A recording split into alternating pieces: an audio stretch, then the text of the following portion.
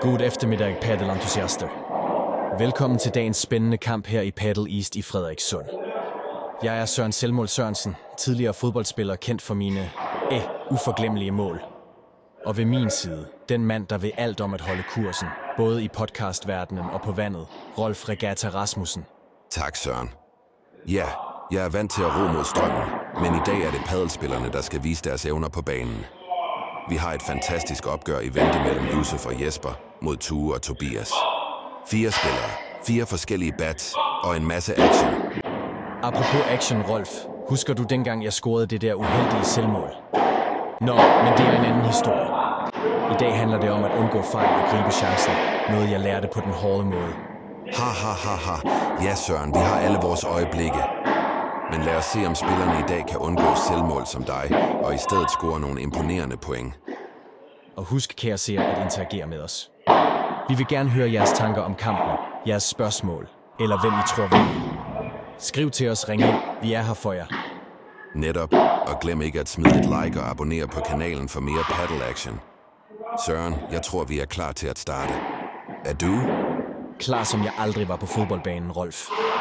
Lad os få denne paddelfest startet. Klap hesten, Rolf. Tue har lige sendt første bold afsted ned mod Jesper. Jesper sender returneringen lige ind i nettet. Det må være frustrerende. Det minder mig om dengang, jeg driblede min egen målmand og scorede et selvmål i tillægstiden. Min træner og holdkammerater var alt andet end tilfredse. Men hvad skal man gøre, når man har solen i øjnene og skæbnen mod sig? Ha ha ho hi ha ha. Ja, Søren, nogle gange er elementerne bare ikke på din side. Men lad os håbe, at Jesper og Yusuf kan få lyset fra lamperne ud af øjnene og komme tilbage i kampen. Præcis, Rolf. Padel handler om at komme tilbage stærkere, uanset hvor mange gange du rammer nettet. Eller i mit tilfælde ens eget mål. Netop, Søren. Og nu ser vi Tue og Tobias positionere sig. De ser ud til at være klar til at udnytte enhver chance, de får. Som de siger i padel, Rolf, er et godt forsvar det bedste angreb. Lad os se, om Yusuf og Jesper kan vende dette til deres fordel. Og se her, vi har dagens første opkald igennem. Velkommen til linjen, Antonio Dominic Lorenzo fra Piacenza i Italien. Hvad kan vi gøre for dig i dag? My name is Antonio Dominic Lorenzo. I am from Piacenza, a region in Emilia Romagna in Italy. I want to know who you think will win. Tu and Tobias? Or Yusuf and Jesper? Hello, Antonio. Thank you for calling from Italy. It's hard to predict, but I think Yusuf and Jesper might just have the edge today.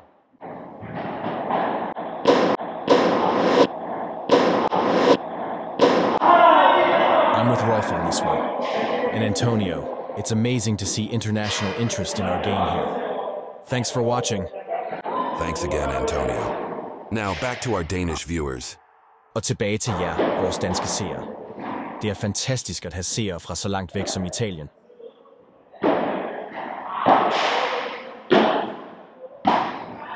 Tobias laver en svær bold ned mod Jesper, som han ikke formår at få returneret over nettet. Og med den manøvre tager Tu og Tobias føringen med 1-0. Det er tidligt i kampen, men hver point tæller. Som jeg altid sagde, når jeg spillede fodbold. Det er ikke, hvordan du starter, men hvordan du slutter. Yusuf og Jesper har stadig masser af tid til at vende det.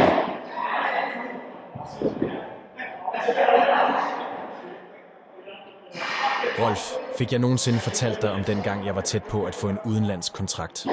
Nej, det har du ikke, Søren. Og Hvordan gik det?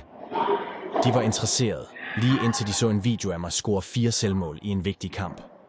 Sikke en måde at sætte sit præg på international fodbold, var.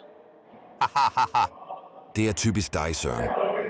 Men nu tilbage til banen. Jesper er klar til at serve. Og uheldigvis for Jesper, han rammer bolden forkert, og den ender i nettet.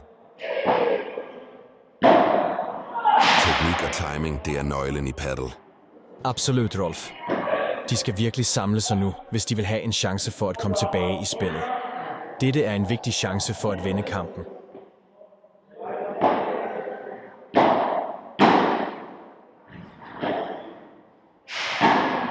Se nu her, Yusuf ser koncentreret ud. En interessant strategi, ikke sandt, Søren? Absolut, Rolf.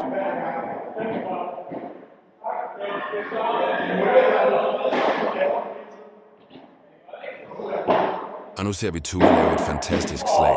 Og desværre for Yusuf, det ser ud til, at han rammer bolden helt forkert, og den ender i nettet. Ja, Søren. Og med den bold tager Tue og Tobias en solid føring på 2-0. De er virkelig i gang nu, og presset øges på Yusuf og Jesper.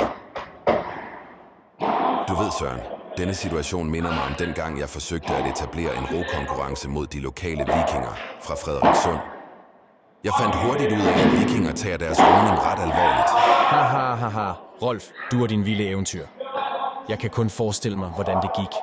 Lad os bare sige, at jeg lærte en vigtig lektion om respekt for historie og tradition, og om vikingers styrke. Men tilbage til kampen ser det ud til, at Yusuf og Jesper kunne bruge lidt af den vikingeånd nu. Ja, lidt vikingestyrke og beslutsomhed kunne være lige, hvad de har brug for. Kampen er stadig åben, og som vi ved, er overraskelser en del af spillet. Præcis. Og hvem ved? Måske har de et par tricks op i ærmet. I sport, ligesom i min rokonkurrence med vikingerne, er intet afgjort før det sidste slag. Lad os se, hvordan de håndterer dette. Kampen er langt fra forbi, og som vi ved i sporten er alt muligt. Ja, og det er vigtigt for Yusuf og Jesper at holde hovedet koldt nu. De skal finde tilbage til deres spil og ikke lade sig ryste. Og der ser vi Jesper lave et låb ned mod Tobias. Men se, Tobias er hurtig på fødderne og får returneret dem. Ja, det ser ud til, at presset virkelig begynder at tage til. Ti stille et øjeblik. Yusuf er klar til at serve. Ture Tobias fører 3-0. Dette er et afgørende øjeblik for dem.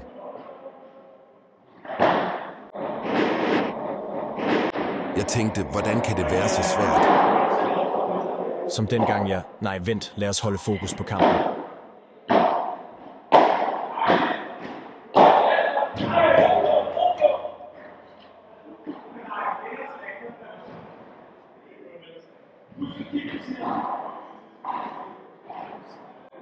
Yusuf er klar.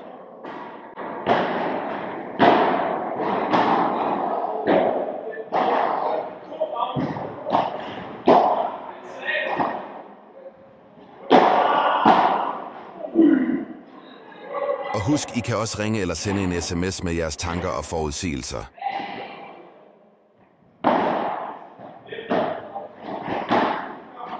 En svær returbold mod Yusuf.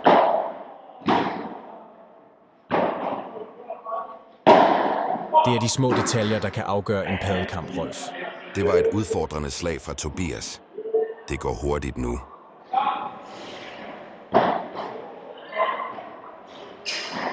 Utu sender et skarpt skud mod Jesper. Men se Jespers reaktion. Et noget mærkeligt baghåndsskud. Tue og Tobias udvider deres føring til 4-0. Det så ud til at være en lidt forhastet beslutning.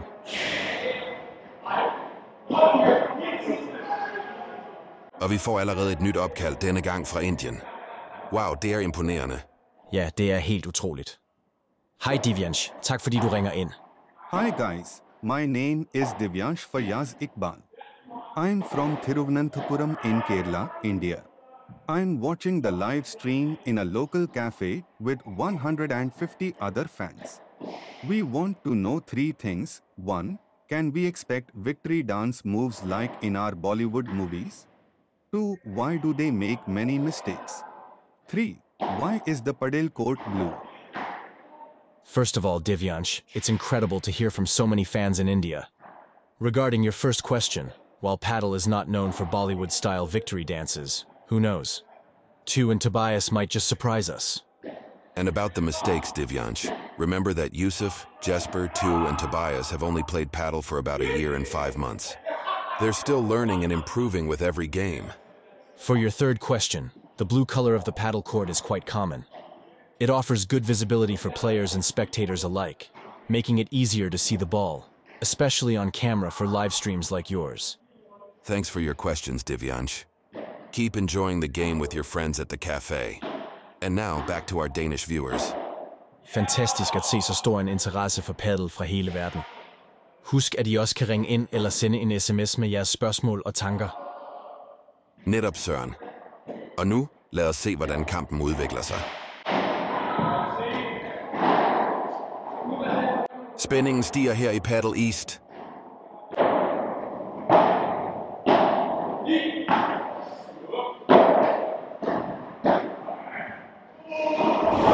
Og der kommer Tobias med et let skud mod Yusuf. Og nej, ser det ud til, at Yusuf også rammer bolden forkert. Den havner direkte i nettet. Det er ikke lige deres dag i dag. Nej, det ser ud til at være en udfordrende dag for dem. Med den point scorer Tue og Tobias endnu en gang, og nu fører de med 5-0. Det begynder at ligne en let walkover for dagens favoritter. Nogle gange har du bare brug for at nulstille og starte forfra. Men spørgsmålet er, om Yusuf og Jesper kan gøre det i tide. Det er sandt, Søren. Paddle kan være et nådesløst spil, men det er også et spil, hvor mirakler kan ske. Lad os se, om de kan finde den magi, de har brug for for at vende dette spil. Lige nu har de brug for alt det mod og held, de kan få. Men som vi ved, i sport kan alt ske. Netop, Søren. Det er nu, de skal vise, hvad de er lavet af.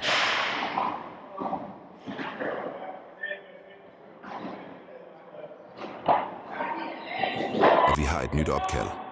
Lone Madsen, du er på linjen. Hvad kan vi gøre for dig? Hej, jeg vil gerne bestille en glutenfri fuldkornspizza med plantebaseret økologisk pepperoni og økologiske svenske champignons. Åh, Lone, det lyder lækkert.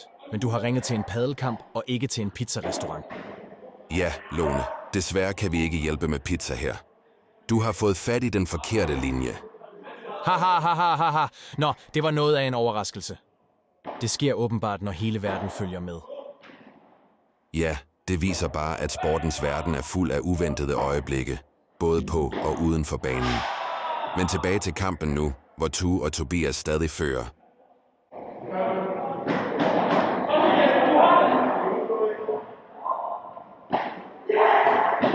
Tue kommer til at lægge op til en smash. Det ser ud til at være Yusufs chance. Og det udnytter han. Et hårdt skud tilbage mod Tue. Og Tue kan ikke nå den. Fantastisk reaktion fra Yusuf. Det var lige det, de havde brug for. Yusuf og Jesper reducerer nu til 1-5.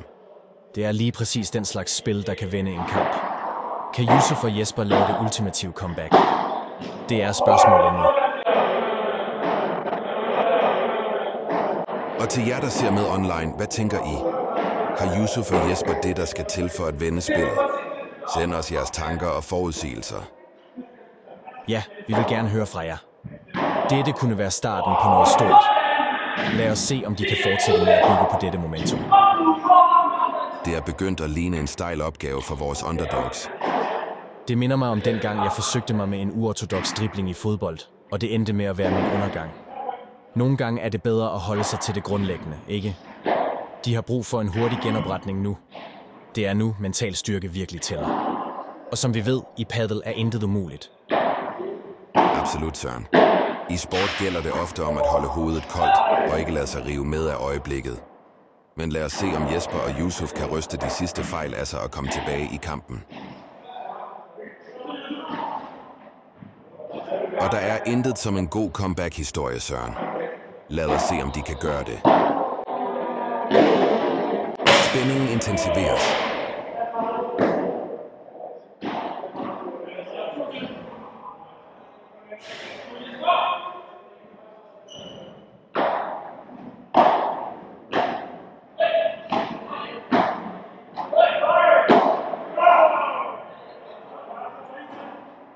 Og nu server Tobias bolden mod Yusuf.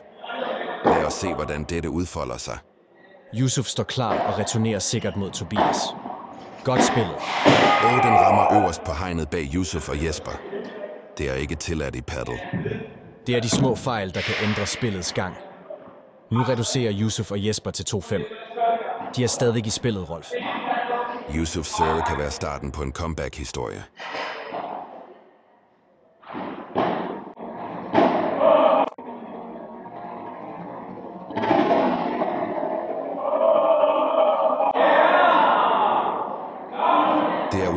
Hvordan et enkelt point kan ændre dynamikken i en kamp. Yusuf og Jesper viser tegn på et comeback. Spændingen stiger her i Paddle East. Ja, hver gang man tror, at kampen er ved at være afgjort, viser padel sin uforudsigelige natur. Yusuf og Jesper har måske fundet deres rytme. Det er sandt, Søren. Kan de fortsætte denne stime?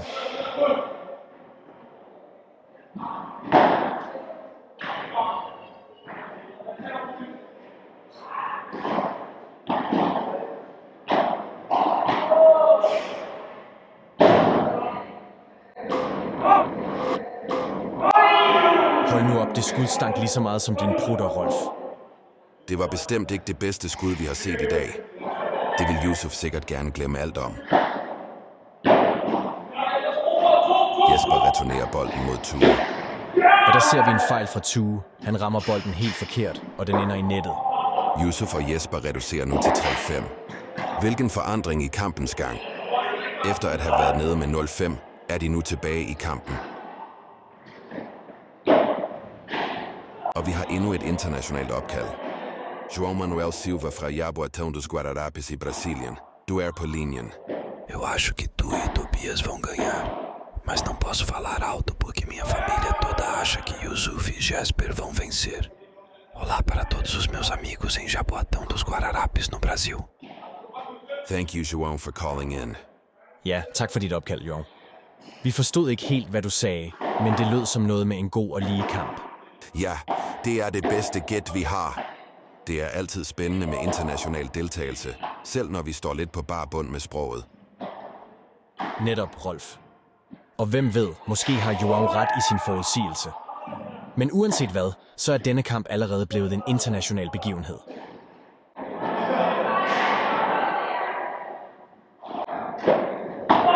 Indtil videre dagens højdepunkt, som vi er vidne til her. Dette er padel, når det er allerbedst. Two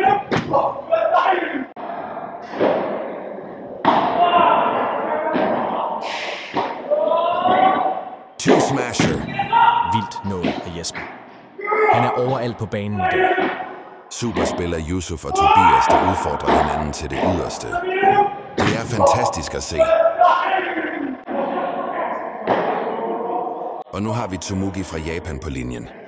Hey ー、あいあいあいベリーグッドプレイ。This is つむぎ、高橋 from 白川郷 in Japan。私の新しいレストランでは、寿司とパデルテレビを楽しめます。そして、私たちの特別なバイキング寿司ロールをぜひお試しください。Thank you, Tsumugi. It sounds like you're quite the paddle fan. Ja tak, Tsumugi. Vi forstår ikke helt, hvad du siger, men det lyder rigtigt nok.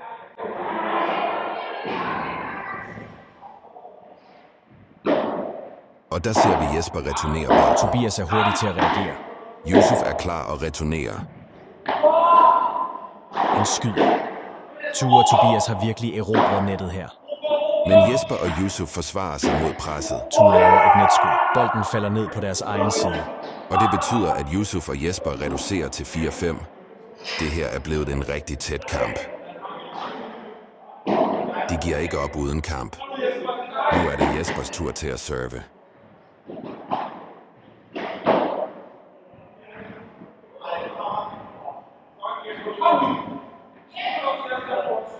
De sætter presset på. Se nu. Spillet intensiveres nu. Jesper og Yusuf forsøger nu at erobre nettet.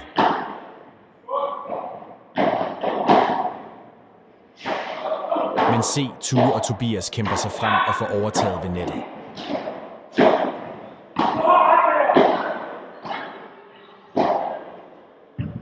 Two smasher hårdt. Fantomredning af Yusuf. Han er overalt i øjeblikket. Sikke et slag.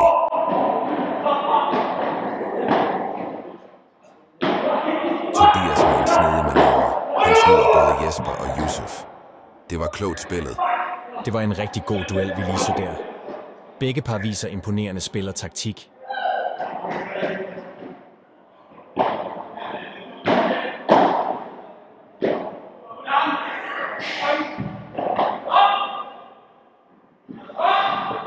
Yusuf og Jesper har virkelig vendt tingene rundt. Og nu har vi et opkald fra Spanien. Joaquin, welcome online live. Hello, this is Joaquin Juan Rodriguez de Leon from Peñarroya, Pueblo Nuevo in Spain. This match is like a dramatic flamenco dance, full of passion, skill, and sudden turns. Each player is like a dancer, gracefully moving and striking with precision. Vamos! Let's see this dance continue to its thrilling finale. Vamos! Vamos! Vamos! Vamos! Vamos! Thank you for calling Joaquin, and thank you for the smukke analogy. Det er fantastisk at se sådan en entusiasme fra vores spanske fans. Yes, thank you very much, Joaquin. Spændingen i denne kamp minder virkelig om en flamenco-dans. Nu tilbage til kampen for at se, hvem der vil tage den endelige sejr. Tue og Tobias skal virkelig genfinde deres momentum nu, hvis de vil undgå et choknederlag, efter at have været så dominerende i starten. Dette er sport, når det er bedst. Yusuf og Jesper viser ægte fighting spirit. Det er virkelig god paddle, vi ser lige nu. Spillet er helt i top.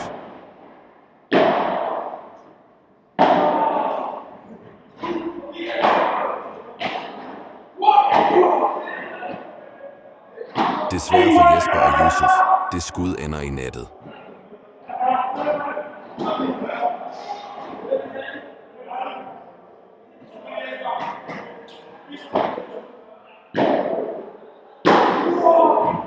Spændingen er til at tage og føle på. Yusuf og Jesper har netop reduceret til 5-5. De har virkelig kæmpet sig tilbage i denne kamp. Ja, de har vist stor styrke og beslutsomhed.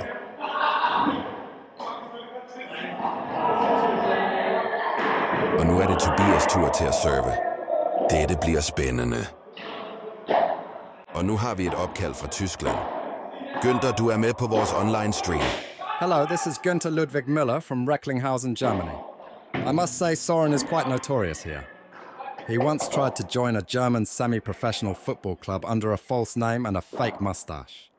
He nearly succeeded, but after scoring four own goals in a pre season test match and losing his fake mustache mid game, he was exposed, and the other clubs were warned about him. Oh, Günther, you've caught me! But you know what? The fake mustache was more convincing than your defensive play that day. Thank you for calling, Günther, men shh.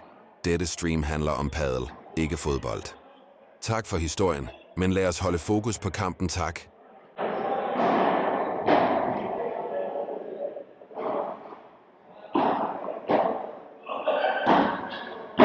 Jesper tager chancen og skyder. Oh, desværre, den ender i nettet. Det giver Tue og Tobias en fordel. De fører nu 6-5.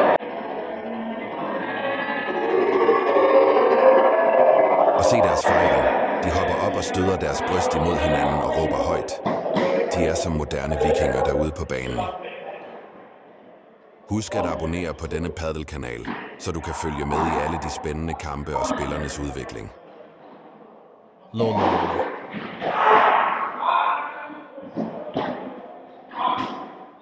Og nu har vi Otilie fra Norge på linjen. Hej Otilie.